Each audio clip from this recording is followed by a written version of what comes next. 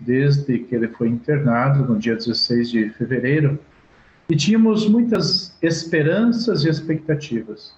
Mas nestes últimos dois dias, nós acompanhamos uma piora gradativa no quadro de saúde integral, especialmente na infecção e na respiração. E por isso nos preocupou muito este acompanhamento que estamos fazendo ao arcebispo Dom Mauro. Como é que está a função renal de Dom Mauro, que era uma preocupação de vocês, né?